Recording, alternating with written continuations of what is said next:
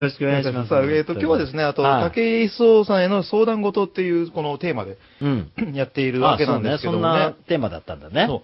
だからね、あの、うんそう、ちょちょうど、ちょうどいいなと思って、うんその、キリン賞ないの？なんかそういうの。そうぜひちょっと相談させてもらいたいなと思って。相談事は。もうまずはさ、その、えリスナーの方もいいけど、ええキリン賞自体ないの？あ悩み事みたいなことも聞きたいよ、俺。あの、武井さんもやっぱこう、テレビで顔出す仕事してるじゃないですか。いや、してますでね。そう、あの、有名になってくると、なんか、今までできたこともできなくなったりとか、うん。そういうの、そういう、なんか、そういうこと、ところで発生するなんかストレスやジレンマみたいなのって、武井さん感じたりしないのかなああ、なんか例えばこう顔が、こう売れてきて、外でこう気づかれたりとか、なん。かなんかそのトラブルになっちゃったりとか、トラブルになったりとか、あと、なんだろう、うん。有名だから発言になんか制限が出たりとか。注意しなきゃいけないとかね。ええ。まあ確かにそれはね、ゼロじゃないとは思いますけれども、ええ。あの、俺もね、あの、この間っていうかね、ええ。あの、この家借りた理由も、ちょっとそういうトラブルからなんですけど、ああ、そうですか。あのー去年、あの、ちょっと、車運転してたら、ニュースになってましたね。ええツイートされまして、警察車両に。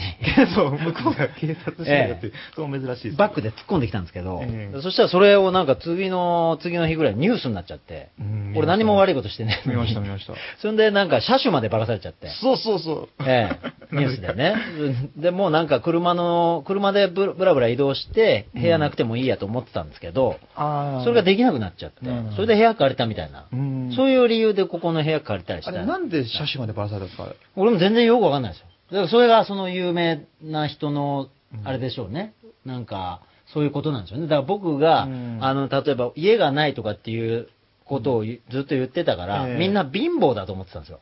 うん貧乏で言えねえと思ってたんだけど、あのええその時乗ってた車はポルシェだったんで、えあの、竹ス言えねえとか言ってんのにポルシェ乗ってんじゃないかみたいな空気になっちゃったんですよえ。う。うんん。でも俺はもう5年ぐらい前からポルシェ乗ってんぞっつって。関係ねえぞっつって。なんで乗ってるかっつったら、早いからだっつって。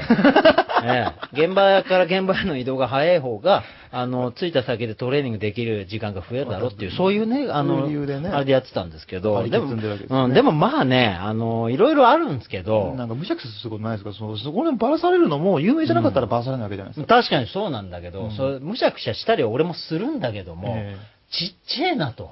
ほうそんなむしゃくしゃすげえちっちゃいなと。おうん、だからなんかね、俺はもうね、今年はね、365日、えあの、その自分の不機嫌とかイライラをええ全部ぶっ倒すって決めてるんですよ。ぶっ倒す？ええ、365戦365勝してやろうと思ってるんですよ。あのイライラとか、あのちっちゃい竹井壮に、あの、勝ってやろうと思いまして自。分とも戦う。ええで、その方法をね、その方法がもうあればいいんですけどね。俺編み出しちゃったの。編み出しちゃったんですか？俺編み出しちゃったの。今年それ実行してんだけど、すげえ効果ある。え、聞いてもらっていい？それ多分僕以外にも、リスナーも多分知りたい。マジで？めっちゃ知りたい。リスナーの皆さんももしイライラしてる人いたら、これ一回ね、試してみてほしいんですけど大、丈夫ですか？こんなハードル上げて。いや、大丈夫でしょ、大丈夫でしょ。武井壮が、武井壮が、この武井壮がイライラした時にそれがスッと晴れるっていうぐらいですから、えええこれかなり効くと思いますよ。期待、期待です。はい。あのね、なんか部屋でこうイライラして一人でムーンってしてる時間あるじゃないですか。うんそうそう、そういう時、そういう時になんかもそういう時にね、あのね、こうなんていうんですかね、うんこう映像、地球を思い浮かべるんですよ。ほう俺地球を想像するようにしてるんですよ。地球ってその、あれ、宇宙から見たような青い、あの、まあ、丸い、丸い地球うん、そを。うだねっつってんで上からも俯瞰で見て、地球は青いなと、うんまず地球は青いなと。でそこからこうどんどんズームしていくんですよ。ブーンってあの、うーんあのネットの Google マップ拡大していくみたいな。拡大していく。ブーンって、そしたらもう日本がビューンって出てきて、ええ東京にさーっとズームが寄って、ざーっとこの港区あたりにざーっと寄って、俺の部屋の窓から俺がなんか背中向けてムラムラしてるみたいな。イライラしてるみたいな。うじうじうじしてるうんほんでそっからもう一回引くわけですよ。ぐーっと。もう一回宇宙まで行って地球にバーっとこう詰まって太平、太陽系ぐらいまで引くわけですよ。ほう。そしたらもうなんと、なんとまあ俺の悩みの小さいことかという。そこに気づくわけですよ。もうはっと。あ、確かそれ気づきそう。てそうそう思いそう。そう、だからもう俺の悩みなんて本当に誇り、ちこのなんか宇宙から見たら、もう塵以下の、そういうものだったんだなって、何をしてたんだろうと。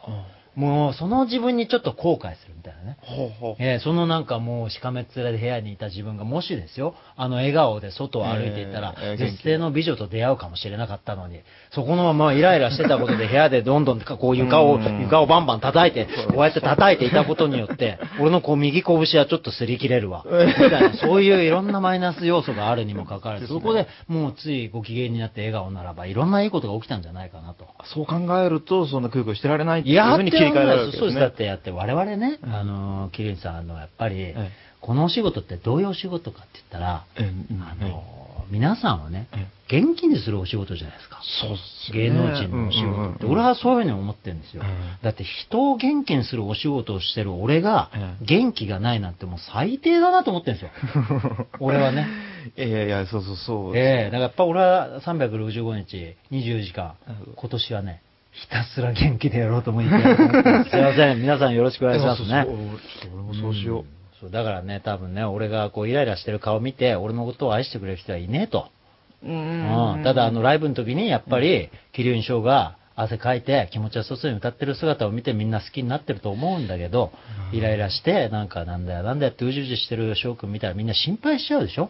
そうっすね。ああ、だからやっぱそれはね、俺やっぱりちょっとああんまり良くないんじゃないかななんて思ったりとか。だから俺はちょっと今日はね、キルインショーすらも元気にしてやろうと思ってこの放送を行ったんですから。こう任せてください、任せてください。ポジティブに、ここは放送終わる頃にはポジティブに。今、今、今今の話でもうなんかちょっと、ちょっと前に向けました。マジで、それはい嬉しいの。それ言ってくれるのは嬉しいね。その俺一級のイメージもそうですし、あとうんイライラうじうじしている人を見て誰もファンにならないです。そうなんだよね。ううんん。だからそこをね、俺ちょっと今年は重視して、えー365戦365勝を目指してますんで、皆さん応援してくださいね、本当に。ちょっと、あ、あやべえな、ちょっと元気になってきた。お、マジで。